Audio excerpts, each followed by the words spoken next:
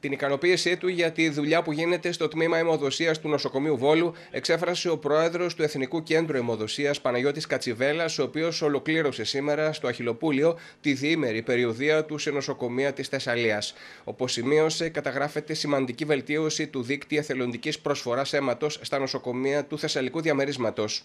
Αυτό που έχει παρατηρηθεί και μου φέρνει πάρα πολύ μεγάλη ικανοποίηση και το λέω περισσότερο για να ευχαριστήσουμε τους εθελοντές μας αιμοδότης ότι υπάρχει μια πάρα πολύ σημαντική βελτίωση των δικτών ε, δηλαδή του ποσοστού εθελοντικού αίματος που συγκεντρώνεται ε, στην περιοχή της Θεσσαλίας συνολικά βελτιωμένη μεσοσταθμικά κατά 9% πάρα πολύ σημαντική συμβολή σε αυτή την προσπάθεια έχει το νοσοκομείο του Βόλου και η αιμοδοσία και κυρίως ε, η κοινωνία της, ε, του νομού Μαγνησίας ε, με πολύ σημαντική συμβολή σε αυτή την προσπάθεια.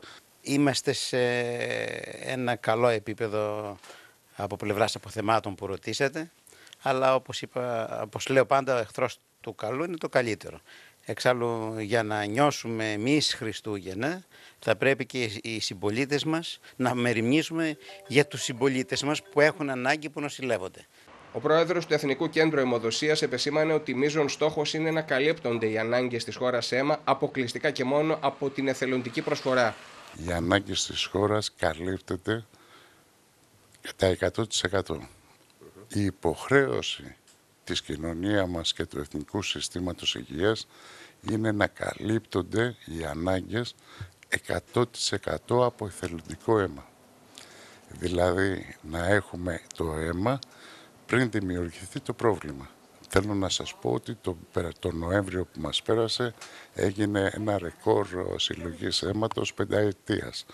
Ε, και η αιμοδοσία το Δεκέμβριο πάει καλά, δεν σταματάμε να προσπαθούμε. Ο ρόλος του τμήματος αιμοδοσίας του νοσοκομείου Βόλου σε αυτή την προσπάθεια είναι καθοριστικός, ωστόσο πρέπει να αντιμετωπιστούν τα προβλήματα υποστελέχωσης. Όπως είπε σήμερα στην TRT η γιατρός Ευαγγελία Κουτσιμπάνα, ο γιατρός ο οποίος ήρθε στο τμήμα αιμοδοσίας για να καλύψει το κενό συναδέλφου του, η οποία μετατέθηκε σε άλλο νοσοκομείο, θα μετακινηθεί σε άλλο τμήμα του Αχυλοπουλίου θα μείνω πάλι μόνη μου, θα έρθει ένας καινούριος γιατρός και πάλι από δύο που ήμασταν θα ξαναμείνουμε δύο συν το διευθυντή μας. Ε, λοιπόν, ο οποίος δεν κάνει χρέη μόνο γιατρού αιμοδοσίας, ε, κάνει χρέη και αιματολόγου και της μεσογειακής ε, ανεμίας και των εξωτερικών ιατρίων ε, και όλων των διοικητικών ε, ε, εργασιών που χρειάζεται μια αιμοδοσία.